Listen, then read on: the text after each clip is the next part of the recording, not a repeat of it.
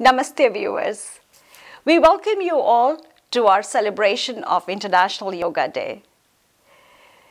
United Nations proclaimed June 21st as the International Day of Yoga with a proclamation in 2014.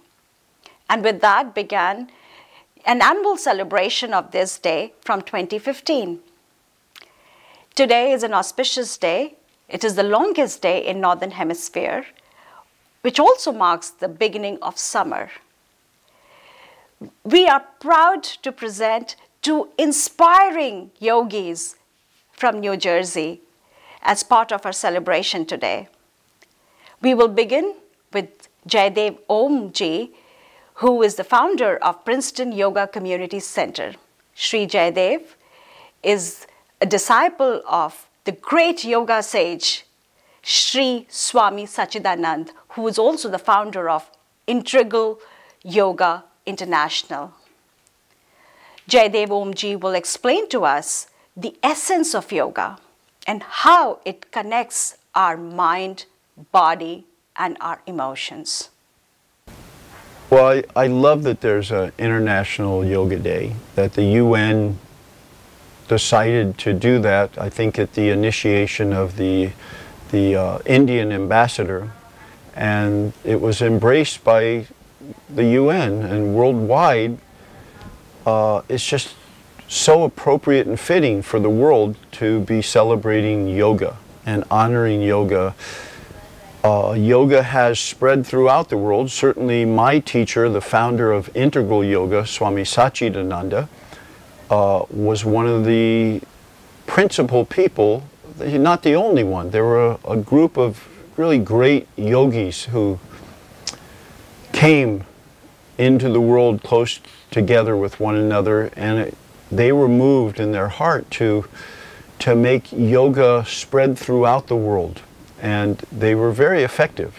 I mean Swami Satchidananda, one of his missions was to make yoga part of everyday life, not something for yogis in the caves and in the mountains, and but something to be part of everyday life. And he didn't leave his body until he'd fully succeeded in that mission. I mean, now yoga is there in movies and books and advertisements. You see yoga everywhere.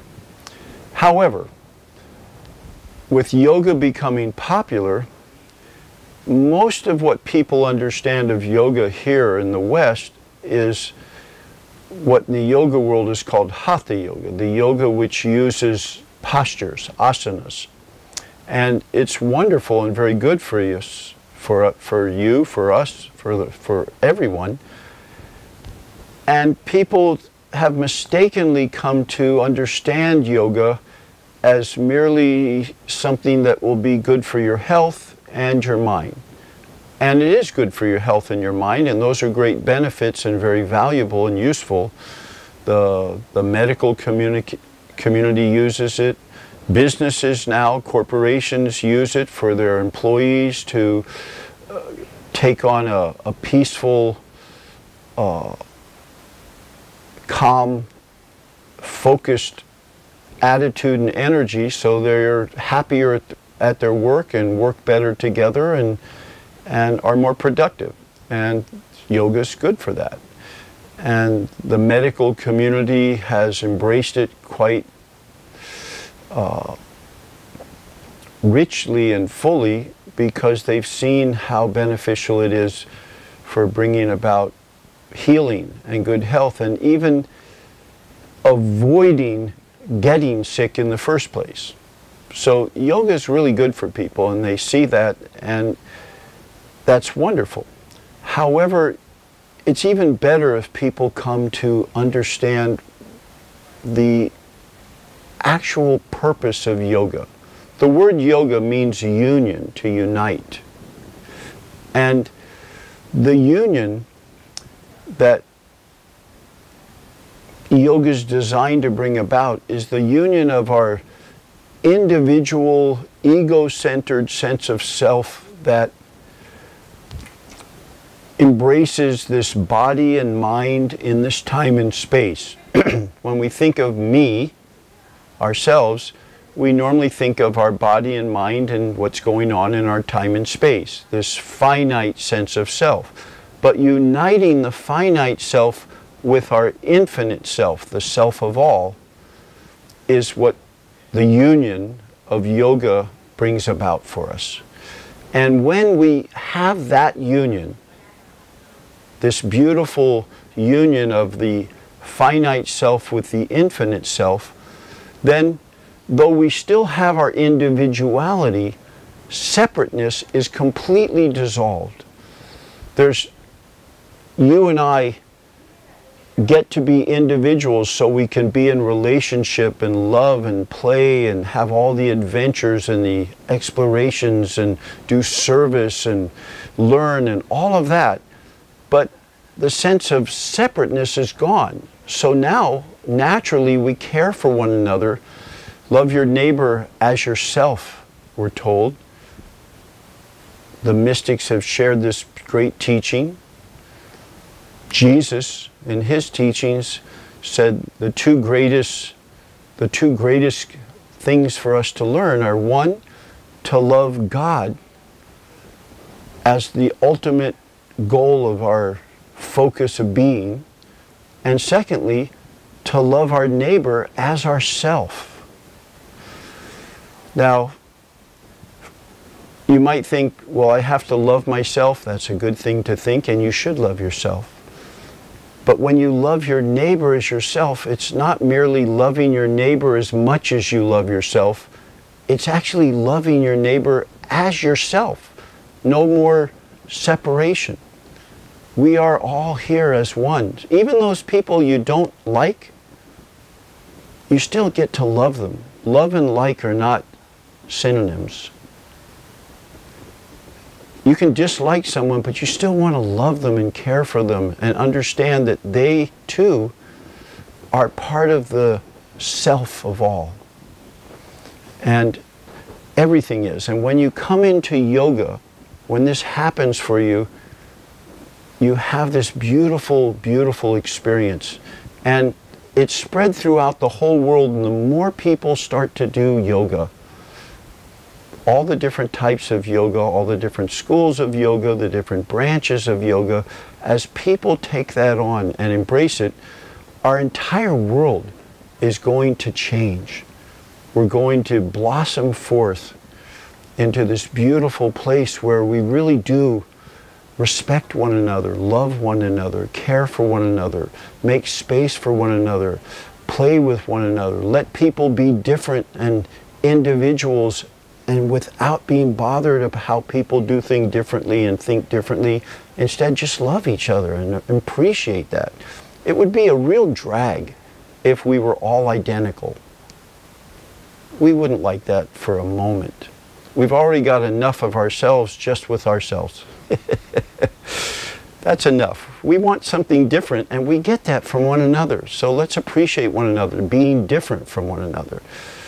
That's part of the beauty of it. Yes, yes, yes. In fact, the work with asanas in the whole branch of yoga was just a small portion of yoga.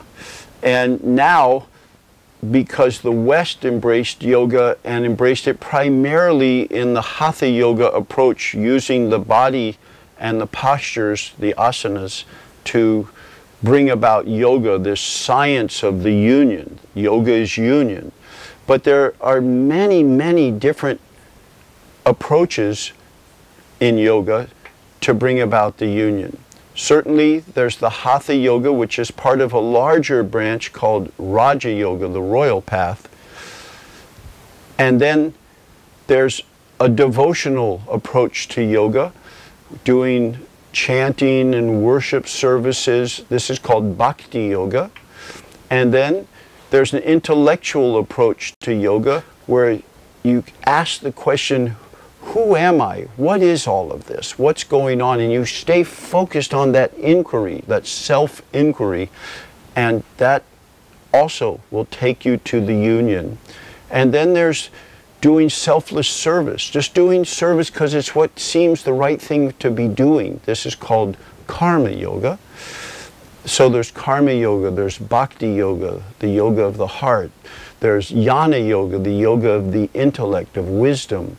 There's raja yoga, the royal path, with hatha yoga, where we use the body to come into the union, the yoga. So there's lots of types of yoga.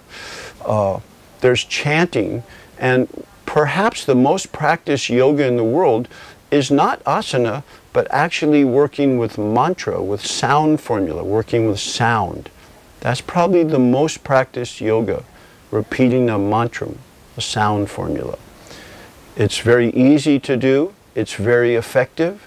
You can do it while you're riding in the car, you can do it while you're taking a shower, you can do it while you're lying in bed, you can do it while you're waiting for something to download, you can even do it silently while you're chewing your food. I mean, there isn't any other yoga so accessible to take advantage of and use, and it's very effective. So there's all these different types of yoga that we can use and take advantage of. And we also, in this time that we're in right now, with the internet, and we can we can see the great yoga teachers and share hear their teachings and learn about yoga and take workshops with them and have them guide us and and lead us in practices all the time, anytime we want. And this is a great, great benefit of our time. So our world is transforming. And yoga is a big element to bringing about this beautiful transformation that we're going to see blossom forth for the benefit of all now. Well, yes, you can, anyone can do yoga at any age and no matter what shape and condition their body happens to be in at the time. You can do yoga. There's a lot of different types of yoga, things you can do. You can work with just the breathing. You can do a whole lot of things with breathing. This is pranayama. You can work with sound, working with sound formulas, mantra, japa, repetition of a sound formula. You can simply study and read scripture, and that too is a yoga. These will all take you to the union, the yoga, and bring you into that place where you go beyond separateness and into the union. Uh, so anyone can do that.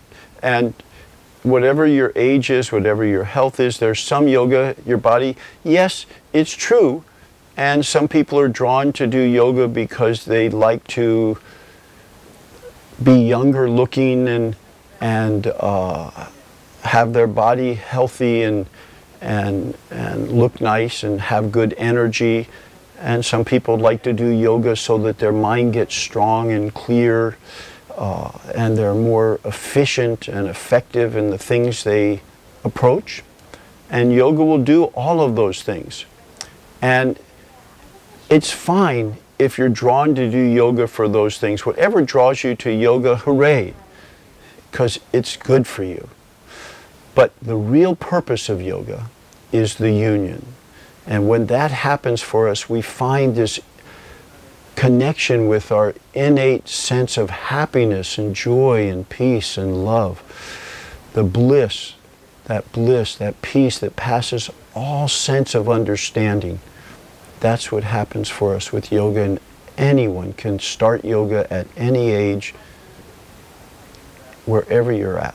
As I mentioned before, Hatha Yoga is the yoga that uses the body to, to bring about and move into the union. And Hatha means the sun and the moon. And if you, for a moment, if you were to take your arm and grab hold of one wrist, take the other hand in front, you can do this while you're watching. Just grab hold and now pull as hard as you can. And when you do that, the arm that you're pulling tightens up against the effort. That's natural. That's actually the principle of strain. Now, if you take the same wrist or the other wrist, I don't care, and now instead of pulling as hard as you can, just pull gently and steadily. And now you find the arm that you're pulling against surrenders into it, and you get to just keep pulling, and it goes further and further. This is the principle of hatha, relaxing into a steady effort. That's what hatha means relaxing into a steady effort. And when you learn to do it with your body in an asana practice, in a yoga class or a yoga personal practice, when you learn to do that, your approach will shift so that now you approach everything in your life as hatha, where you relax into a steady effort. You don't strain, you avoid the strain. You're going to find that when you do asanas like this, that naturally your breath will start to help you and assess and, and assess what's going on and guide you. So pay attention to your breathing in your hatha practice. It will really help you. It'll show you for overdoing and then you back off a little. It'll show you how to go deeper and further into your practice. We have someone here who's a great Hatha yogini and she's going to demonstrate some postures for you. This is Parvati Savannah Magnella, and you're going to really have a treat getting to see her in her practice.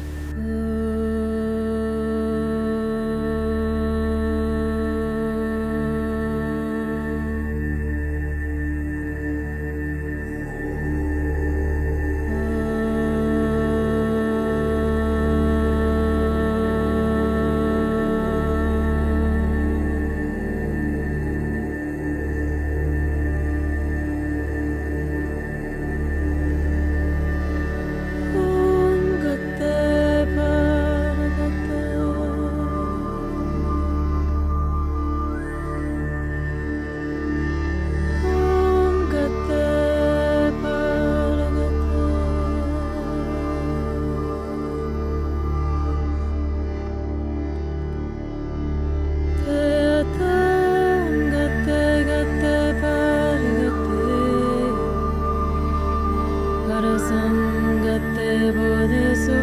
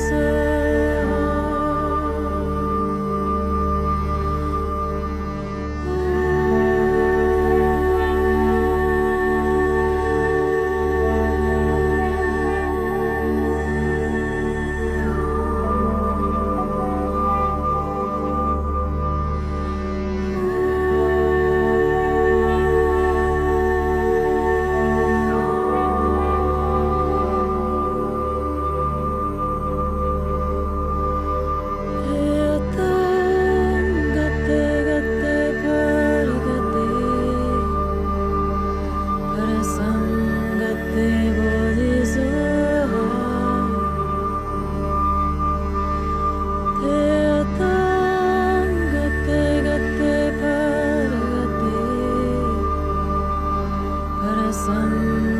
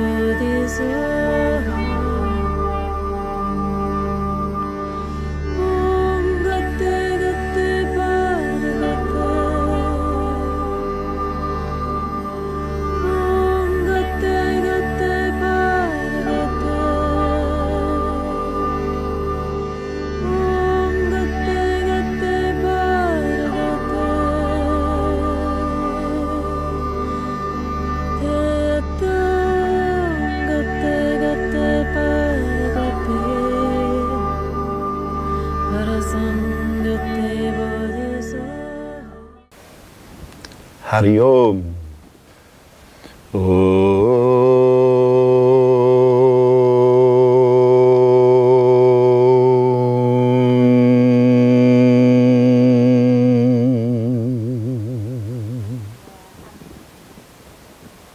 Om Asatoma Sadgamaya Tamasoma Jyotirgamaya Mrityormamritam Gamaya Om Shanti Shanti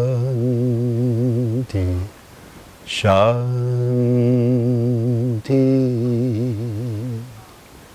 This is a chant from the oldest written scriptures on the planet, the Upanishads. It means lead us from unreal to real. Lead us from darkness to the light. Lead us from the fear of death to the knowledge of immortality. Om Shanti, peace, peace, peace. Yoga is a holistic and mindful practice.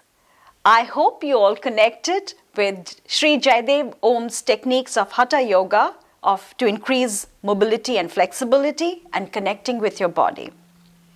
Meditation and yoga have subtle differences. However, they both have an integral connection. And with that, I'd like to welcome our next guest, uh, who's a meditation expert and guru. She practices and preaches mindfulness, meditation, and yoga workshops. Her workshops are designed to help understand and cultivate moment to moment awareness about our body and our breathing. She teaches um, in New Jersey, and we'd like to welcome Ek Healer, popularly known as Ekta Gupta. Thank you, Subarna, for such a beautiful introduction. Namaste. I'm Ekta Gupta. I've been practicing Reiki for last 10 years. I'm a yoga instructor and a mindfulness meditation teacher. I welcome you all viewers to the Mana TV International celebrating the Yoga International Day today. So before I talk about the mindfulness meditation, let me give you an analogy. When we eat food, whatever is extra food has to come out of our body within 24 hours. Same thing with water. When we drink, after 4 hours, it has to come out. And even breath, it has to come out after 1 minute or 2. So we, these are the physical things we know and we understand. But what about your thoughts?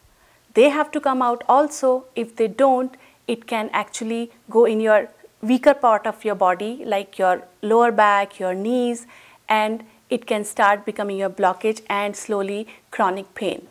So in the simplest word, mindfulness means maintaining a moment by moment awareness of our thoughts, emotions and sensations.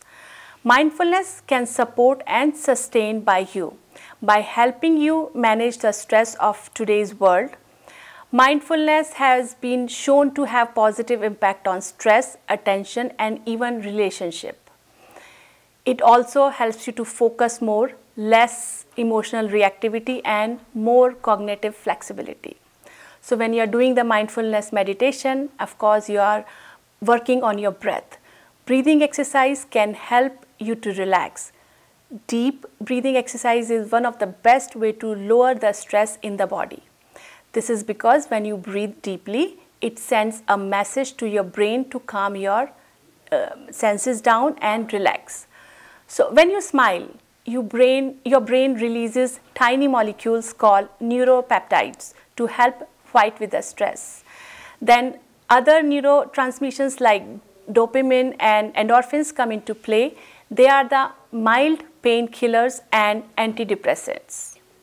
So today I'll guide you for a mindfulness meditation for 10 minutes and this meditation you can do any time of the day when you are feeling disconnected. So let's begin. So before you enter into this mindfulness practice, find yourself in a comfortable seated position. Once you settle in, take a deep breath and long exhale, closing your eyes.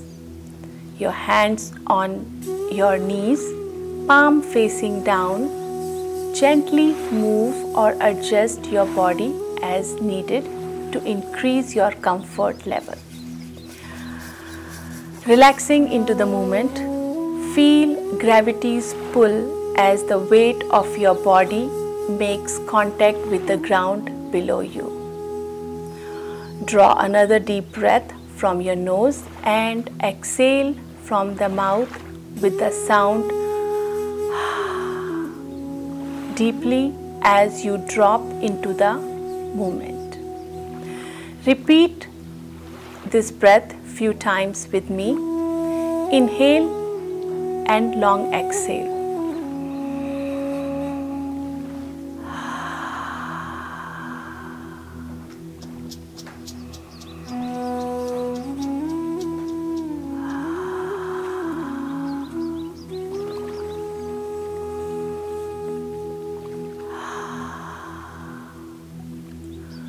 Should you notice any bodily sensations, simply take a note in your mind. You might even say hello to your body and say that that I am here with you. Thank you so much for serving me well. It's time to give full attention to your body. There is nowhere else to go. There is nothing else to do at this moment. Just be with your body.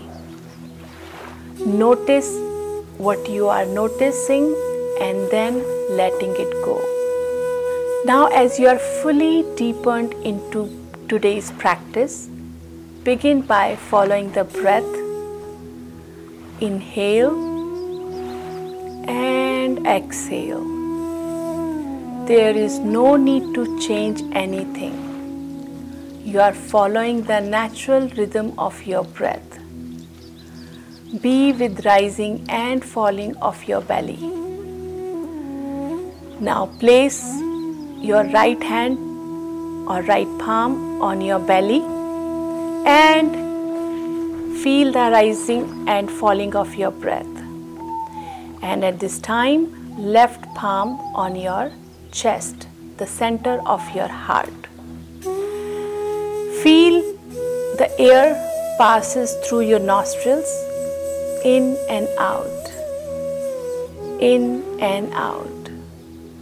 Be with your breath, following your breath as it comes and goes. Now bring your attention to your feet. Sense into the feeling of having a strong foundation and deep connection to the earth. Imagine that connection lengthening as your body further relaxes.